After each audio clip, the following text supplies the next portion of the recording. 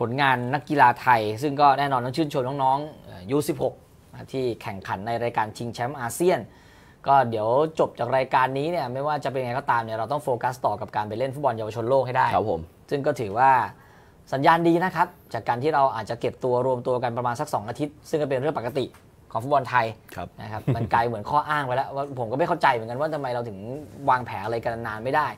ซึ่งชุดเนี้ยมันทำมาต่อเนื่องในในโครงการของฟีฟ่าท a เลน t ไอดีครับผมแต่ว่ามีการมาเปลี่ยนแปลงผู้ฝึกสอนนะครับ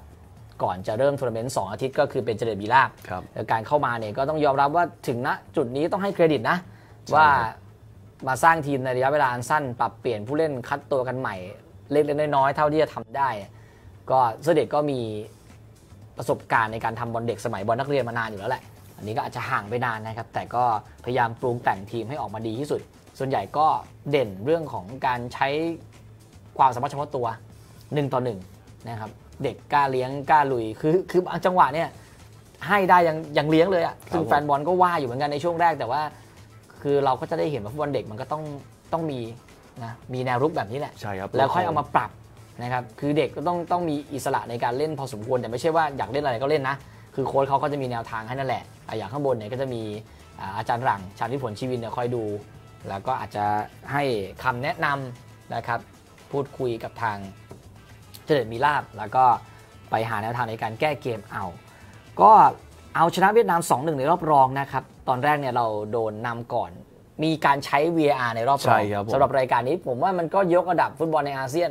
ซึ่งชุดใหญ่ของ AFF อาเซียนคัพเนี่ยพอมี VAR ผมว่ามันจะช่วยได้เยอะ มากๆ การตัดสินก็ค่อนข้างเคลียร์นะครับเมื่อวานหลายช็อตที่ใช้ VAR ก็ไม่มีปัญหา แฟนบอลก็รับได้ แล้วเราเนี่ยก็มาได้เอ่อสองประตูนะครับ ซึ่งลูกโหม่งของภูริพันธ์โพทองเนี่ยต้องยอมรับว่าน้องนี่ใจเด็ดมากใช่ครับชิงจังหวะขึ้นโหม่งแล้วศีรษะกระแทกกับผู้เล่นเวียดนาม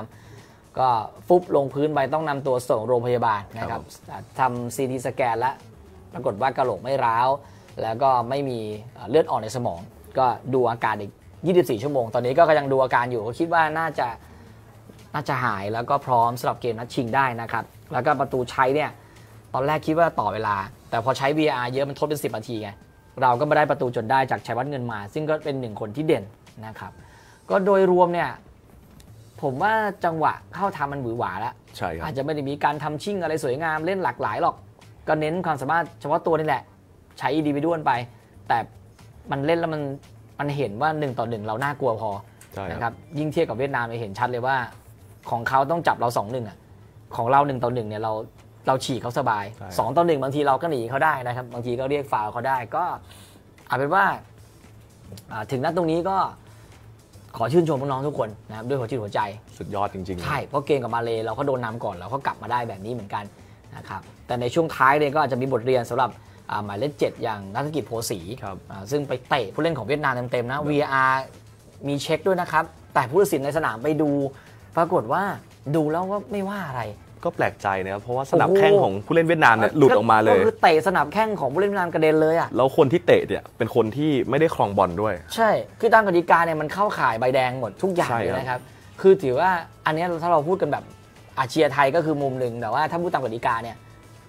น้องรอดแบบปาฏิหาริย์นะใช่ครับฉะนั้นอันเนี้ยสตาฟโค้ชต้องไปบอกเด็กเลยว่าเกมแบบเนี้ยคือต้องควบคุมอารมณ์เพราะตอนนั้นคุณนำอยู่ด้วย มันมันไม่จำเป็นต้องไปทำแบบนั้น แล้วก็จังหวะบางบอลอันเป็นแค่จังหวะที่คือเลี้ยงไปเข้าทางเขาแล้วเขาก็บังให้ครับอผมอกนะครับคือถ้าเราปล่อยผ่านเนี่ยมันจบแล้ว คือถ้าเกิดอันเนี้ยโดนใบแดงเนี่ยนัดชิงกูจะไม่เล่น แล้วเป็นผู้เล่นสำคัญไงใช่ครับเออมันมันเสียดายโอกาส แต่ตรงเนี้ยพอรอดไปปุ๊บเนี่ยก็ต้องบอกต้องเตือนเรื่องของการควบคุมอารมณ์ซึ่งบอลเด็กทำยากมากนะอืมเพราะว่าเด็กเองเนี่ยน้องๆหลายคนก็ อายุ 15 นะครับ คือเขาโอ้โหเพิ่งจะทำบัตรประชาชนอะต้องยอมรับว่าเขาเจอบอลไทยเนี่ยเราก็โตกันมาแบบนี้เล่นกันแบบนี้ครับอ่บางที แต่ว่าเยอะหลังๆก็ก็ยอมรับว่าดีขึ้นนะใช่เพครับราะว่าหลายแมตช์ก็เล่นกันแรงแต่ว่าน้องๆเองก็พยายามควบคุมอารมณ์แล้วนะครับ อันนี้ก็อาจจะเป็นอ่าอารมณ์ในช่วงเวลาตรงนั้น ก็อาจจะต้องพูดคุยกัน เอาเป็นว่าเราเข้าชิงวันที่ 3 กรกฎาคมวันพุธนะครับ 19นาฬิกา30 นาที ก็จะเตะที่สนามมานาฮานสเตเดียมที่ เราแข่งขันนี่แหละเป็นสนามครับที่ผมจัดฟุตบอลเยาวชนโลกอยู่แล้วนะครับแล้วก็คู่ชิงจะเป็นออสเตรเลีย ซึ่งอยู่ในสายเดียวกับเราในรอบแรก เสมอกันมา0-0นะครับซึ่งออสเตรเลียเนี่ยเอาชนะเจ้าภาพอินโดนีเซีย 5 ประตูต่อ3นะครับนี่คือคู่ชิงของ U16 ชิงแชมป์อาเซียนนะครับเป้าหมายของเราคือชิงแชมป์เอเชีย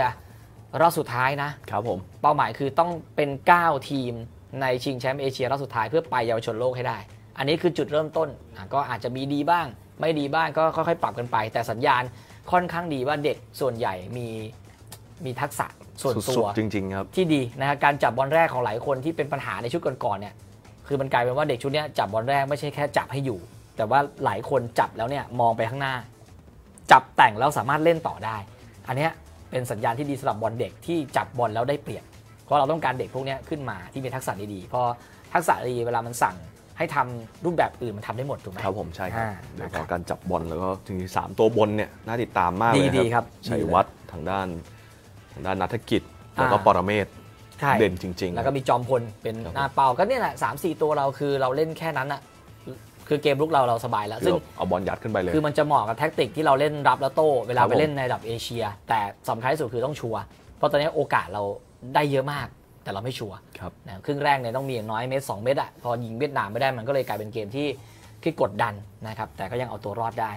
อีกหนึ่งเรื่องคืออาฟุตบอล Kings Cup นะครับก็ Kings Cup เองเนี่ยณตรงนี้เนี่ยก็มีทีมอ่าที่เข้ามาเรียบร้อยแล้ว เดี๋ยวผมบอกอีกทีแล้วกันนะทีมที่เข้ามาทีมรับเชิญ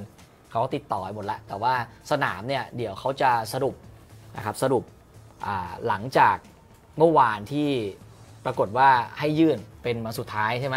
ก็มี 3 จังหวัดนะครับคือเชียงใหม่เนี่ยเขารับอยู่แล้วครับเพราะว่าเขาเป็นเจ้าภาพมา 2 ครั้งหลังสุดอ่ามีเชียงรายนะครับที่ที่ขอยื่นมาเพิ่มเติม แล้วก็มีสงขลา สงขลาเนี่ยแฟนๆเรียกร้องอยากให้ไปเขาบอกว่าบรรยากาศฟุตบอลที่ใต้เนี่ยคือ อยากให้ทีมชาติไปเตะครับผมเออหายไปนานแล้วนะครับ ซึ่งทั้ง 3 จังหวัดเนี่ยคือจังหวัดที่ยื่นขอเป็นเจ้าภาพ ยังเป็นโมเดลเดิมนะ จังหวัดไหนยื่นก็คือต้องออกค่าใช้จ่ายทั้งหมดนะครับอืมเออ